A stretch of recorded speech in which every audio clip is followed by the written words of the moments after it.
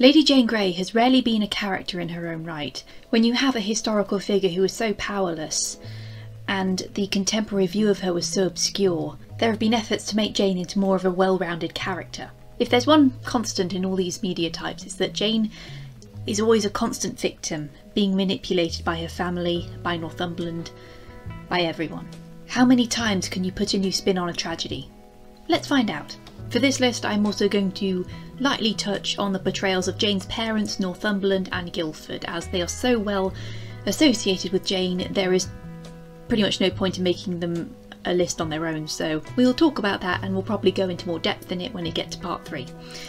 Or in this case, part four, because we had the other bit, didn't we? Let's go. Life itself is only a vision, a dream.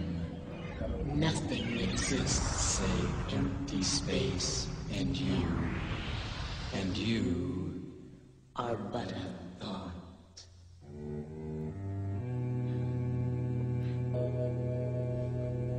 There are a lot of adaptations of Mark Twain's Prince and the Pauper. I have watched practically every single one that was set in the Tudor era, and I still think the Barbie version is the best one.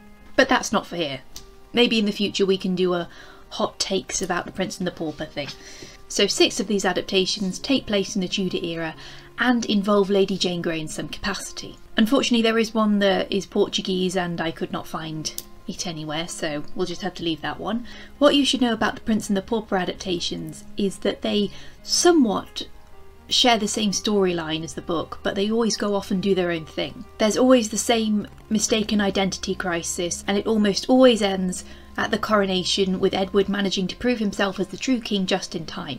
In the novel, Lady Jane Grey is just a background character, so it's up to the adaptations to fill out the space, if they can be bothered. In the 1936 film starring Errol Flynn, Jane is portrayed by Anne Howard and only appears in one scene at the beginning. The next adaptation, made by Disney in 1962, has her played by Jane Asher. Here she is given more lines and referred to by Edward as his favourite playmate, since she is much closer in age to him than his sisters. However, she disappears from the narrative not long after she first appears as a large chunk of the film is dedicated to Edward going on adventures with Zorro. The thing with Prince and the Pauper is that a lot of the story is dedicated to Edward experiencing life outside of the palace and seeing how the people are mistreated. As such, the adaptations decide to add an element of corruption and plotting into the Tudor court in order to rack up tension and make it all the more important for Edward to claim back his crown. Jane has a slightly larger role in the 1990s miniseries that was made by Julian Fellowes where she is someone for Elizabeth to talk to while she is trying to figure out what is wrong with her brother. In the 1977 film, otherwise known as Crossed Swords, things are a lot hornier and much more inaccurate. In this version, Edward and Jane are aged up significantly, as well as our pauper Tom Canty. So, while Tom is in Edward's place, he has a crush on Jane and they start making out, much to Elizabeth's disapproval. But she states later that she'd rather be a queen than marry a pauper. So after the big reveal, she marries an old duke for his money, but Tom climbs her balcony every night. So I guess in this universe, Jane was never used as a pawn by her family and never reigned for nine days. She managed to escape. Good for her. Other than that, Jane doesn't have much of a significant role to play in The Prince and the Pauper, but on the bright side, at least she gets acknowledgement. Ignoring her would probably have been very easy to do.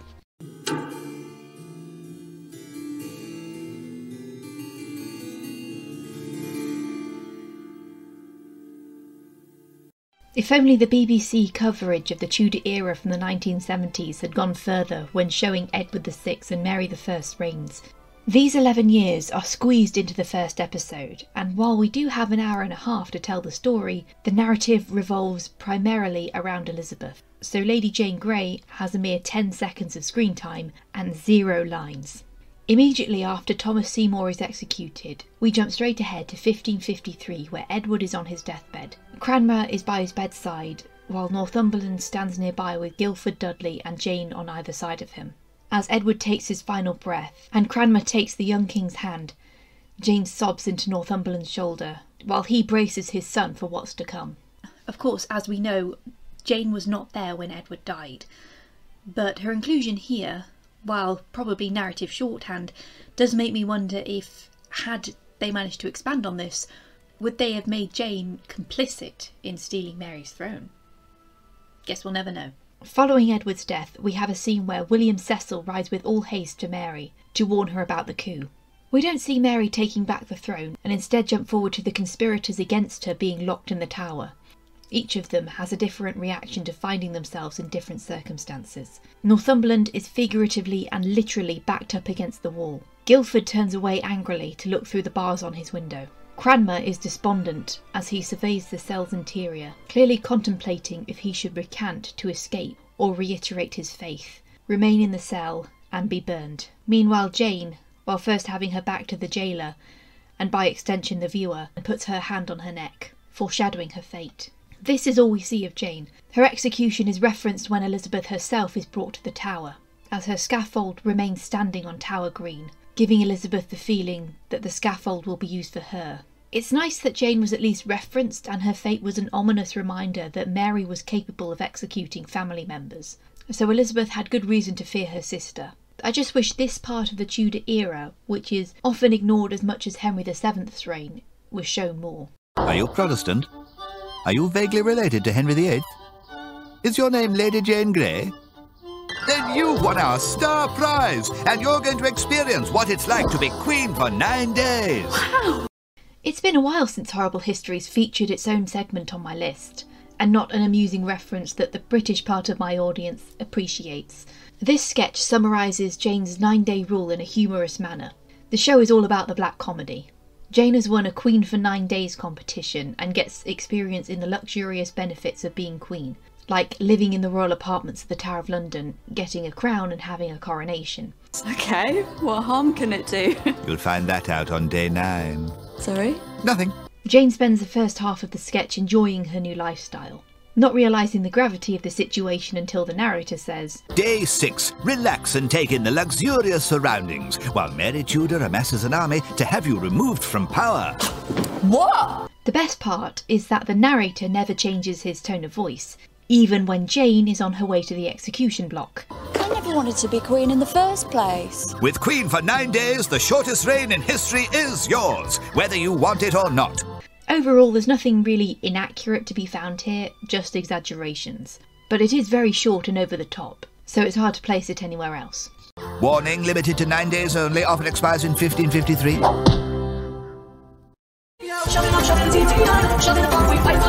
This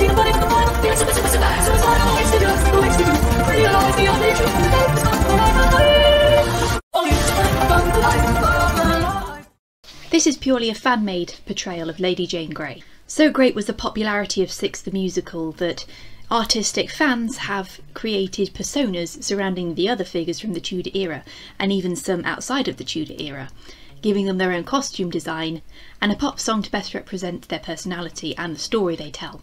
Shout out to RTE who created the Lady Jane Grey persona and has done a few animatics, and their designs have sort of contributed to the whole Six the Kids spin off.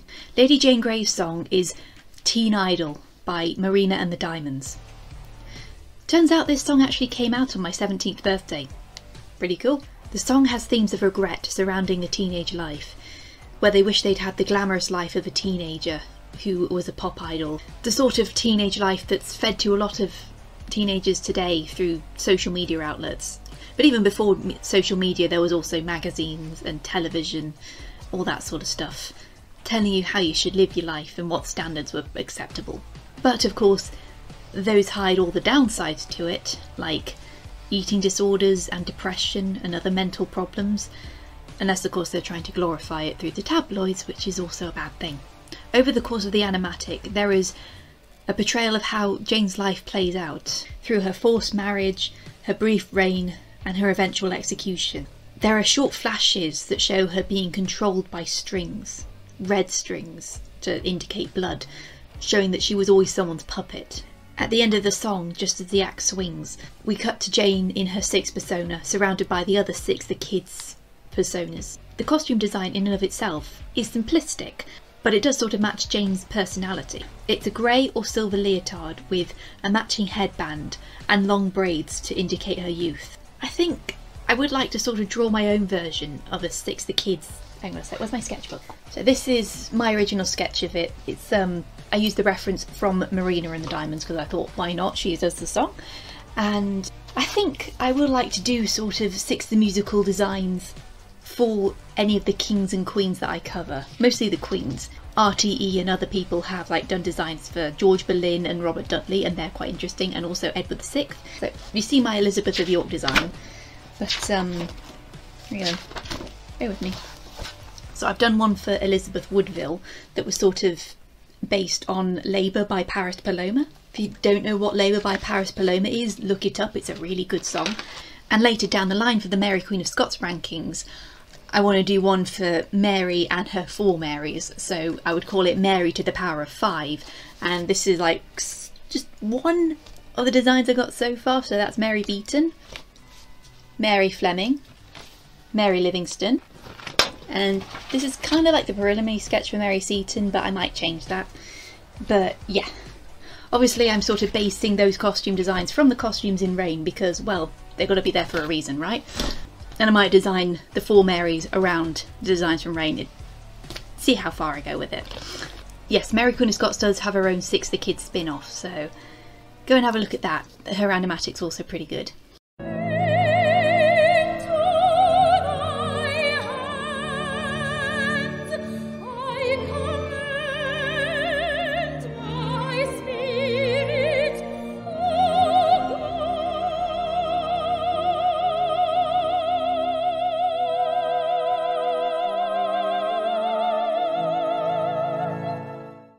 This is the only opera I've managed to find on Lady Jane Grey that has music and a libretto, and to an extent, a little bit of footage for me to use. As I said back in the Lost Media of Lady Jane Grey video, others have tried, but have slipped into obscurity. But it seems changing the title has allowed the Chronicle of Nine to escape the fate of its predecessors, slightly. A little bit. Unfortunately. Hmm. This English language opera was written by Arnold Rosner, one of three he composed in his lifetime. Unfortunately, Rosner was not a very successful composer. He was self taught, so he didn't have the clout of being classically trained. But he was very ambitious to see this opera have a release. Sadly, although the score and libretto were written in 1984, it did not receive a premiere until February 2020, seven years after his death and just weeks before all the theatres in all the world were closed down because of this. Yeah, it's official. Lady Jane Grey operas are cursed. Donizetti dodged a bullet. On the bright side, the music is really good. Arnold Rosner used a mix of classical music but also hints of Renaissance tones, so the prologue has a guy on the lute going, My chronicle, my chronicle of nine. Obviously, I can't play it for YouTube reasons, but you can find the score on YouTube and on Amazon Music and Spotify, so go and find it and give it a listen. I encourage people to try and find things out for themselves. So, some of the music actually sounds as if it was written in the 16th century and it's being sung to the style of 16th century music, and that's something I lap up.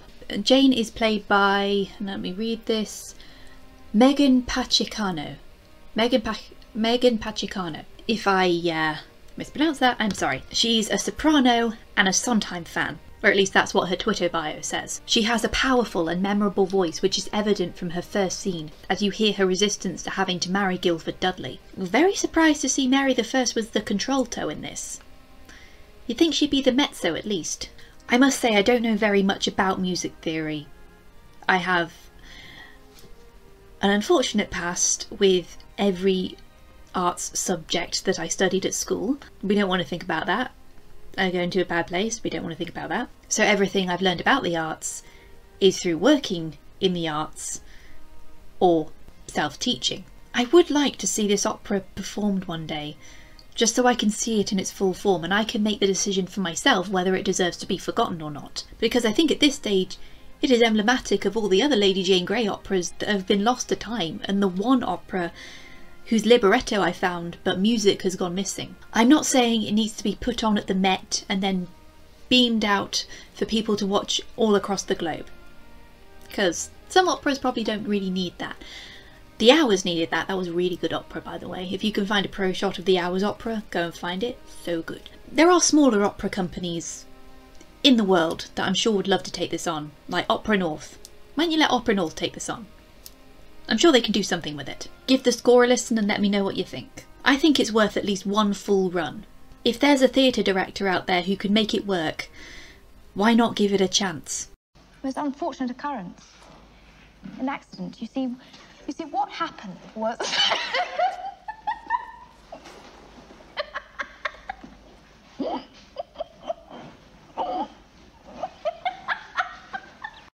So, uh, should I defend myself or should I just walk in the direction of the angry mob? Look, this is a good movie. And for a long time, it's been considered the definitive version of Lady Jane Grey and the turbulent time of the mid Tudor era. Trevor Nunn is a legendary director, and I know this, I've seen it firsthand. I watched the Parent Trap musical. Yeah, if you didn't know there's a Parent Trap musical, it exists. Trevor Nunn directed it, I've seen it, it's pretty good. But Helena Bonham Carter is the weakest element of this movie. She does not fit this role at all. Everyone works fine with theirs, especially Patrick Stewart, but I can't stand the parts where she has to be sad. I understand this was at the very start of her career. Many actors start out in films where they don't really seem to fit, but they'll soon find the one role that takes off and they're better known for other things. And then when we look back, we realise, oh my god, that was them before they were famous. You ever seen Amy Adams in Buffy? Or look at Pedro Pascal. Today he is everyone's favourite fantasy DILF, but before he was known as that, before he had his head crushed in by the mountain, he was a red shirt on Buffy. And I'm serious, like, he should have been a main character. There was an injustice done to us by robbing Buffy of Pedro Pascal. We shall be avenged. This is not the first film I've seen from the start of HBC's career. She did quite a few of those E.M. Forster movies that came out in the 80s and 90s, and she stood out like a sore thumb there as well. Funny thing is, I know she can do a role similar to this. Someone who wanted so much out of life and had that taken from them. Case in point, Corpse Bride. I was a bride. My dreams were taken from me. Well, now. Now I've stolen them from someone else. I love you, Victor. But you're not mine. There are points when she does sort of fit Jane's shy nature, when she's talking to practically anyone except her nanny Ellen. Once she's shared a few minutes with someone, she comes into her own and shows that she's intelligent and comfortable with having religious debates. Now, this film is also a love story between Jane and Guilford Dudley, played by baby faced Cary Elwes a year before Princess Bride. Guilford starts out as a drunk and a gambler, the stark opposite of Jane, and is just as reluctant to marry as her. He is pretty cynical because he's being used by his father and sees the world around him as so depressing and unchangeable that he drinks through it. Why don't you go to court, become a secretary or counsellor? Do something about all the things you Because there isn't any point! Because it wouldn't work. Never does. Dear God and all his saints, what am I doing here? So, pretty much a zillennial. The manifestation of Guilford's frustration is in seeing the vagrants who live outside the country estate. Said estate used to be a monastery that was converted into a private house, and the people who previously worked that land are now starving, unemployed, and branded for begging. What's more, the worth of the money they can get isn't worth as much as it used to be. Jane, only just learning this, is upset from hearing it, and the tactless way Guilford says it. He sobers up and realises he's been a jackass, so he apologises to her, and they fall for each other. We get a montage of them being in love, but the reality of their situation comes back to haunt them when Jane catches some vagrants stealing from them, but lets them go. Both are aware that Northumberland is trying to use them. One of the best scenes is where Jane has completely come out of her shell, and she and Guilford jokingly pretend how they'd run things if they were in charge. They want to make a socialist utopia. Almost foreboding, seeing as this is Robin Hood saying this. Then, when Jane becomes queen, both her parents and Northumberland think that Jane can be manipulated, but her newfound confidence makes her and Guilford assert more dominance. However, because Jane and Guilford are still kids and are still naive, they make some bad decisions, like snubbing the Spanish ambassador. And when Mary is on her way to London and the Privy Council debate what to do, Northumberland suggests sending Suffolk to meet her. This might have been a success. However, Guildford had another idea. I told you my father was an honest man, Yes. So? so why not let him prove it? Send him to defend your throne. Shut up, Wesley. Sadly, once Jane is no longer queen and gets locked up, the confidence she gained is lost. Either Jane was only confident because she was dependent on Guildford, ugh, or we have just gone back on her character arc. Every time she cries, which is a lot in this part of the movie, by the way, it feels very fake and exaggerated. It's weird to see HBC struggle with basic human emotion in this, when we all know that the most extreme of emotions come easily to her. In the scene where she's being confronted by Mary, all I'm thinking is things are the wrong way around. HBC should be playing Mary. I know she's a little too young to play at that time, but maybe we should have waited. Maybe this movie came out a little too soon. Maybe someone else should have played Jane. And HBC, having gone through her villainsance, would have been perfect as Mary the First. Yes, villainsance. That's a word I've come up with in the wake of House of the Dragon and to a lesser extent Morbius and Last Night in Soho, where we all know Matt Smith got famous from playing the Doctor, and now he's playing villains or villainous characters. And so I came up with the word villainsance as a descriptor for actors who started out playing famous heroes or good guys in their films and TV shows, but further on in their careers have now made a new life for themselves as villains. And they're really, really good at it. And everyone who grew up in the 2000s knows that Helena Bonham Carter had one hell of a villain sense. Sadly, her stiff performance here stopped me from growing an emotional attachment to Jane, and it was hard to really feel the feels when she was executed. On the bright side, she and Cary Elwes had good chemistry, and I think this is the most developed Guilford Dudley you're ever going to see. It perpetuates the idea that Jane's parents were abusive, physically by her mother and emotionally by her father. As such, you at least side with Jane against them when she starts exercising her authority as queen. But one has to live with the fact that much of this is fictional, and sadly, what little happiness Jane and Guilford had in the film probably didn't happen in real life. You want to think that Jane and Guilford had a little affection towards each other, but the truth is, they simply didn't have enough time or freedom to grow that love.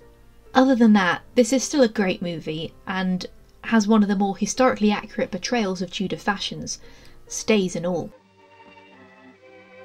Tell me, why do you hate this Warwick with such violence? He said it was for the king's sake I should stay here.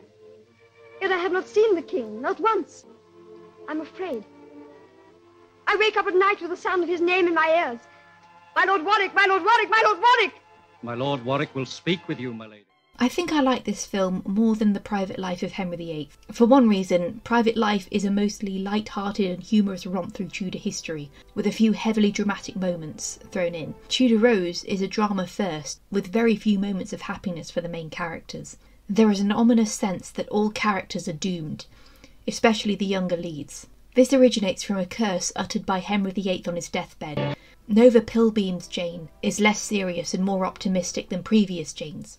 She is eager to learn about the world and see it. Being a Plato fan, I'm sure she's taken to heart the belief that the soul is happier when they learn more. But in fact, the more she sees the world, the worse it gets for her. Thomas Seymour is the first to fall to Henry's curse. He is aware sooner than anyone else that Edward VI is ill and won't live long, so he takes Jane to court to make her a viable contender. Somerset, who is written to be more sinister and paranoid about his brother, has Thomas executed for trumped up charges. Then, not long after, Somerset is executed by Warwick, who goes against Edward's wishes. Warwick, now Northumberland, decides to put Jane forward as heir and even forges Edward's signature when he won't agree to it. Jane tries to take matters into her own hands and is more autonomous than we'd have her believe when she attempts to run away before she is married to Guilford and approaches Edward on Thomas Seymour's behalf. On the bright side, Guilford is more sympathetic in this. He and Jane meet before they realise who each other is, so he encourages her to wait and meet her betrothed, and she is relieved to know it's him. Much like in Lady Jane, these two had a chance at a happy life, and Guildford helped Jane come out of her shell a little before Edward died and she was made into a pawn. When she becomes queen, her reluctance is clear. She knows it's wrong, the people know it's wrong, but she at least wants to use her position to bring peace to the country. Although the ominousness from her entrance into the tower is clear that she is doomed. I love the way they film the gates closing as the shadow falls across her face. Jane and Guildford's relationship comes off as these two kids could have been happy together, but they didn't get the chance as Northumberland kept using them and ruined everything. The film is great at showing how powerless Jane was and how quick people are to use and abandon her. But she always tried to find some positivity. Even as she goes to her execution, she reflects on the happier moments of her life, almost as if saying, Don't cry because it's over, smile because it happened.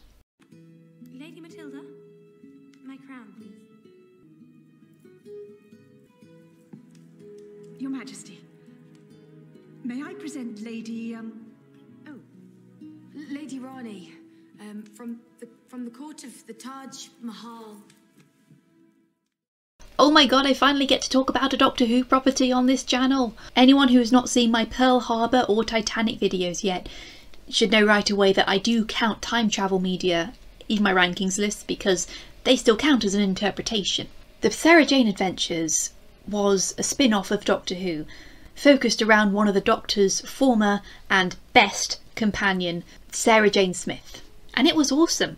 It was aimed primarily at younger audiences, so it was broadcast on CBBC. You know how you have PBS and PBS Kids? Well, we had CBeebies, which was for like the really little kids, and then for the older kids, we had CBBC. And then there were other people out there who watched CITV, but I didn't know about them. Team CBBC. I never watched Torchwood because I think it was on too late for me to watch it and I didn't really care. But is it kind of like one of those things where maybe some episodes in seasons three and four would make sense if I watched Torchwood? Kind of like how some episodes of Buffy make sense when you've actually watched Angel? Either way, I did watch a lot of Doctor Who related stuff that was on CBBC, not just Sarah Jane Adventures. There were like Tardisodes and there was like a making of Doctor Who thing that the kids would interact with, and then there was like the Alien Files. Oh my god, the Alien Files. I was quite, quite the crazy Whovian up until about 2011. No, 2012. Then we got to the season 4 finale of Doctor Who. That was like Avengers Endgame. Before Avengers Endgame was Avengers Endgame.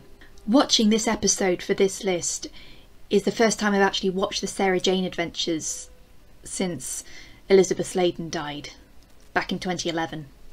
Mostly because I didn't have the show on DVD and it's only recently shown up on BBC iPlayer for everyone to watch. But the other reason was when Elizabeth Sladen died, I was crushed. I was so upset because I knew the show wasn't going to go on anymore and she was my favourite companion. The day after I found out, I wore black the entire day and it took me going to the cinema and watching Tom Hiddleston on a holiday in the Scilly Isles in order to cheer myself up. The story of the Sarah Jane Adventures is that Sarah Jane Smith is a journalist on the surface, but her real line of work is saving the world from alien encounters from the comfort of her own attic. In the first episode, she saves a boy who was created by an alien, and she adopts him as her son Luke. Luke isn't in this episode because he went off to university at the start of season 4, so don't worry about him, he's not important for this episode.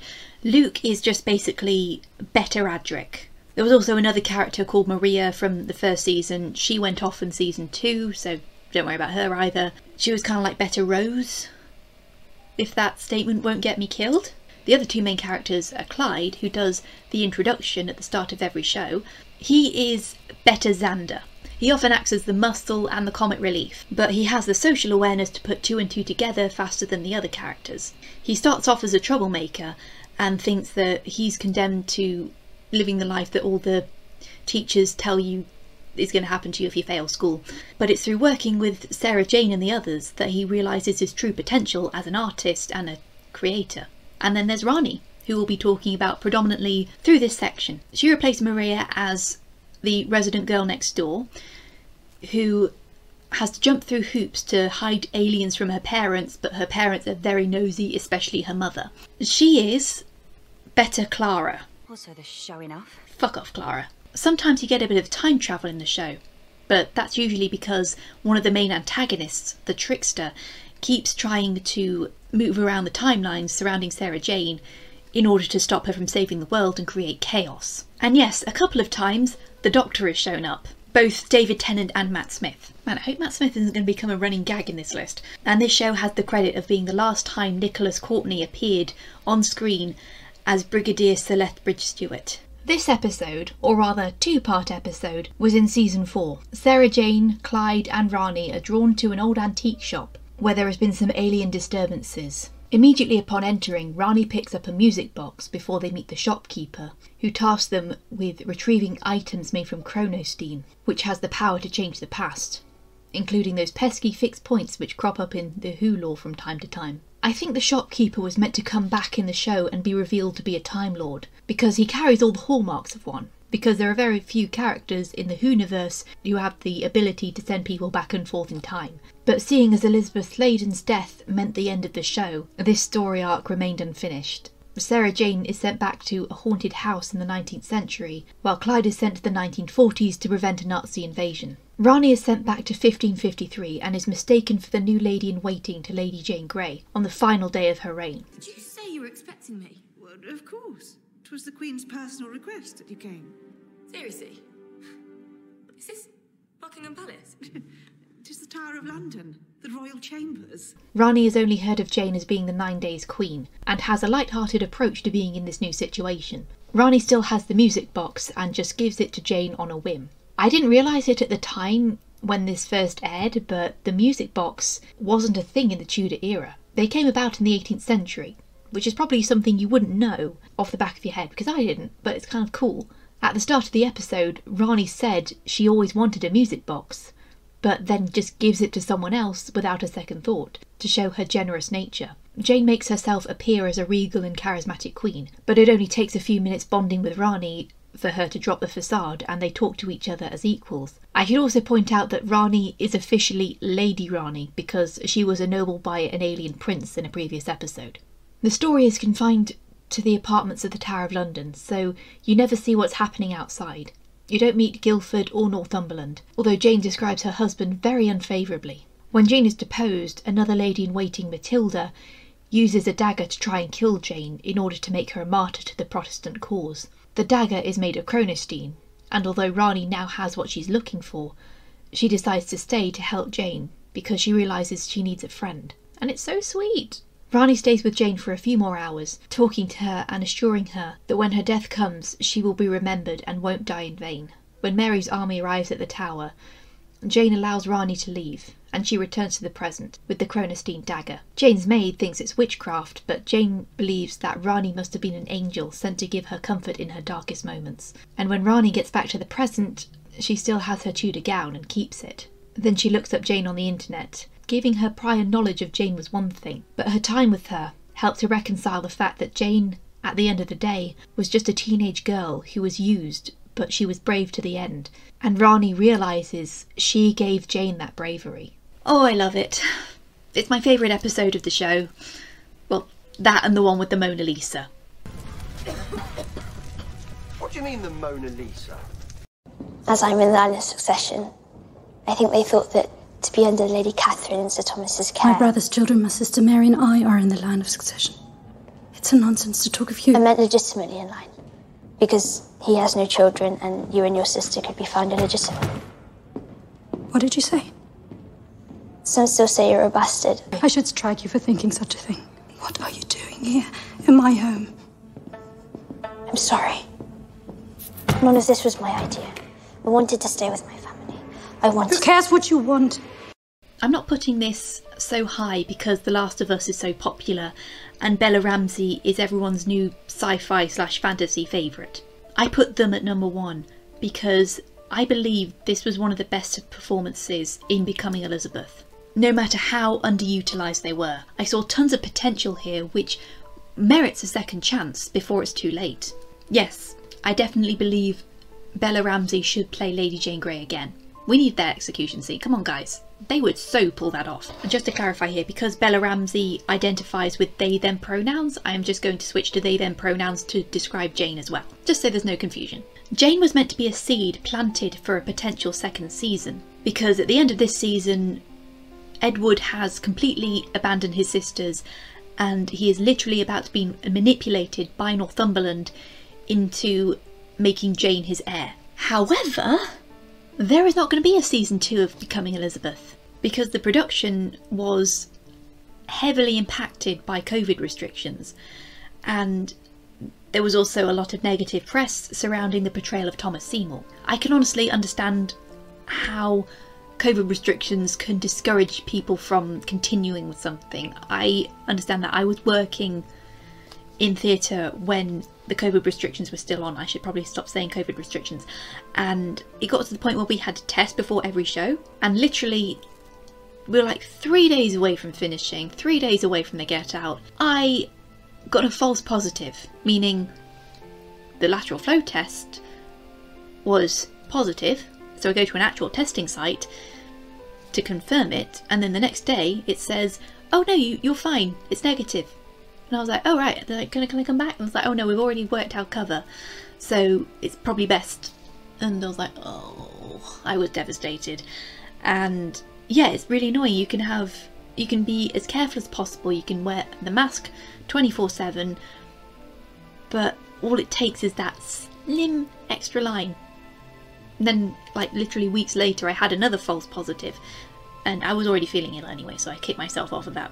I think I actually just made myself ill worrying about getting COVID than actually catching COVID. But I do wish they had continued the show because there were so many hidden gems in there. As much as I badmouthed it, it had its redeeming features. The problem was, the show focused on the wrong people. Forget Elizabeth, forget Thomas Seymour, forget Catherine Parr.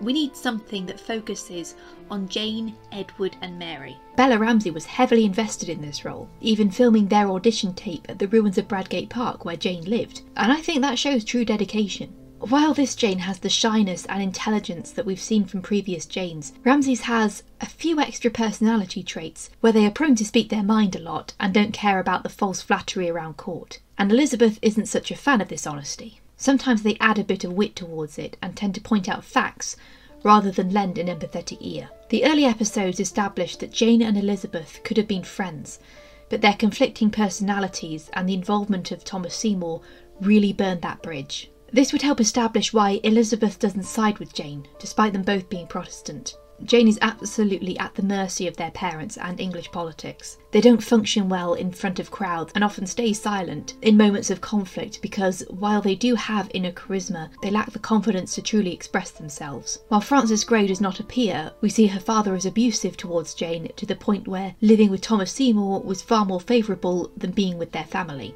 Jane has potential but needs to escape from under the thumb of their family which is something we might have seen had the nine days been able to go forward. All I'm saying is just pluck this version of Lady Jane Grey out of this series and put them in a new one centred on them. If Glenda Jackson and Keith Michell can reprise their roles across multiple versions, I see no reason why Bella Ramsey shouldn't. Just don't let Starz make it.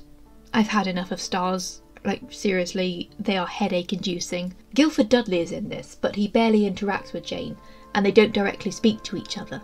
Jane sees him from a distance but is too shy to approach, so it takes Elizabeth recognising Robert Dudley for the two parties to meet. I think this might have implied that Jane thought Guilford was cute but never had the confidence to approach him. So maybe in the second season the two of them would have fallen for each other, like in Lady Jane and Tudor Rose. I want to talk more on Jane and Guilford's relationship in the next video because it's a vague story, which is often written into a tragedy to emphasise Jane's sad life. I keep seeing what could have been, and I want Bella Ramsey back as Lady Jane Grey. They still look young enough, so I would be willing to wait until after The Last of Us. This series had so many gems that we weren't allowed to exploit, but the casting was mostly great and brought a whole new light to Jane, Mary, and Edward. I have the same feelings toward the supporting cast in the 2008 Other Boleyn Girl, where Kristin Scott Thomas, Mark Rylance, Eddie Redmayne, David Morrissey, and Benedict Cumberbatch could have done their own version of A Man for All Seasons, and it would have been far better than that film. Despite what little we saw, I think I can safely say that Bella Ramsey is my favourite Lady Jane Grey. This list was a case of choosing which ones I preferred over others. There are so many missed chances, so many small glimpses when it comes to Jane.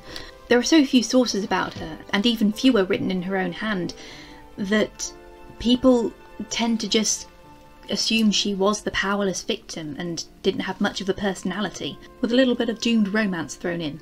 Perhaps the best way to adapt Jane is to make her a major player in a large story. Something along the lines of Tudors, with a bit of House of the Dragon, maybe? It's difficult for Jane to carry a whole story on her own. I know that, but that does not mean she has to be ignored. Right, if my microphone can behave, I would like to move on to the captions now. Yeah, just as I was about to start recording the conclusion, my microphone started going all staticky. That's why I've got camera in front of me here and then I've got the I've got Audacity on the monitor behind so I can keep track of it because sometimes I'm just recording that and I can only see myself and then I watch it again later and it sounds all staticky and garbage. I don't know why it does that. It's something as to how it's plugged into the computer or something. Maybe the wire gets twisted, I don't know. Maybe it's just something to do with the microphone. Maybe high, maybe more expensive microphones don't do this. But either way, let's move on to the captions because it's the end of a rankings list and that is the tradition. So this time I was trying to think of it because I was filming this in front of the camera stuff as well as audible stuff because usually I'm in the middle of editing and then I find the screenshot and I'm like, let's use this. So this is a screenshot of Lady Jane Grey talking to Rani Chandra in the Sarah Jane Adventures and they're just having a conversation so I said make up a conversation. What are they talking about? And you have delivered. So I might do some editing here so if I stand if I'm over here I might be Rani, if I stand over here I might be Jane. When I told you to call me that I wanted you to mean it. Mommy dearest, look at this stuff. Isn't it neat? Please don't go into a song, Your Highness. But I just like to be part of your... I feel like a crab in a grotto. I've never been much of a Disney fan. What is Disney? You woke me up for this? My friend telling me about her relationship dramas while I smile and nod, disassociating from the whole thing.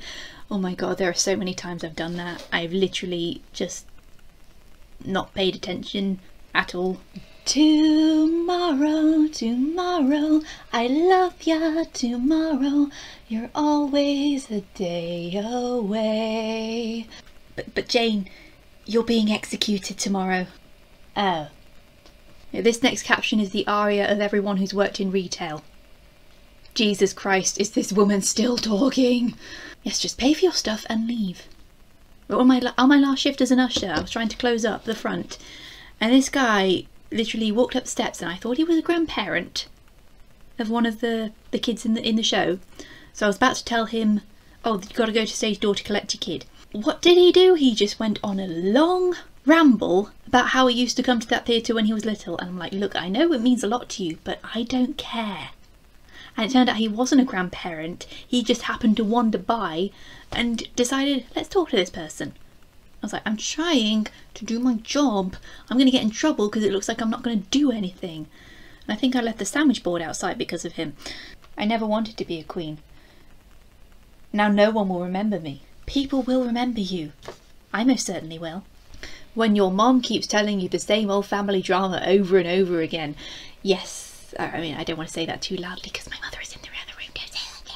The girl I haven't seen since elementary school chatting me up like we're old friends and I'm just like, who dis? Yeah, I, have I've experienced that. There was, I think, my 18th birthday. My friend and I went to Pizza Hut, and then as we were leaving Pizza Hut, we were going, we were like going past another bunch of restaurants and, and bars, and then a girl I probably must have known from school recognised me and was like, "Oh my god, hi!" And then when we walked by, I was like, "I have no idea who that was." For the last time, I am not Elizabeth. Christ, people, can two princesses not have the same hair colour? Are you listening to me? Of course. when the teacher brags about you being a good kid, but you're only your true self at home. Oh. Yeah. Yeah, we we I, we know what it's that's like. That's just sad. Well, I tried to be the good kid, but there were other teachers that were just horrid. You weren't trying to be good. You were just trying to get out of the get through the day with minimal disruption. But anyway, those are the captions. Hope you enjoyed them. Um, I might do some captions for Reign Season 2. At the moment, I'm just writing the script for it. Spoiler alert Kenna did nothing wrong. And that was the Lady Jane Grey rankings. I really hope you like them. It's been a while since I did a rankings list, and I really am looking forward to who we rank in the future. Of course, I want to do Mary Queen of Scots before the year is out, and that might come true. So, if you like the video, make sure you like and subscribe to the channel. I can always do with more subscribers, more support. And of course, I've got a Patreon page for people who want to support the channel. You're not obliged to do it, but you do get some benefits from being a patron, such as getting your name in the credits, like these wonderful people here. They're wonderful. And also, higher tiers, you get access to scripts and access to early videos when I make when I make them, and also you can get a shout out in the credits. So thank you so much to Alison Cuff, Jill Mainero, Larissa, and Leslie Williams. And of course, all patrons, regardless of pledge, are welcome to come on the Discord server I have made and find out sooner how my status of videos is going and talk to each other about what's to come. There have been no cat interruptions. I thought there were going to be cat interruptions. Maybe Alan was just like, I see that you're working. Um, I'm just going to go over here and sleep in my box. He loves his box under the radiator. He won't let me clean it. I tried to get some of the... I tried to clean it once and he was just like, get out of my box. Yes, and I hope you are liking my eye makeup. I'm hoping to do like some future stuff like maybe some shorts where I just sort of like lip sync to some musicals dressed in these sort of outfit personas that I made for the, the Six Wives and the other other wives. You haven't seen my Elizabeth of York one, I haven't thought of one yet, but it'd be cool. So I would prefer when this when this is done that we lived well sh shall we say as cousins rather than as man and wife. That is what you wish? It is. But I should perhaps myself make something clear. Shut up, Wesley. Can you change colour or are you always white? No, I can be anything. And is there a limit? I mean, how many times can you change? 507. Oh.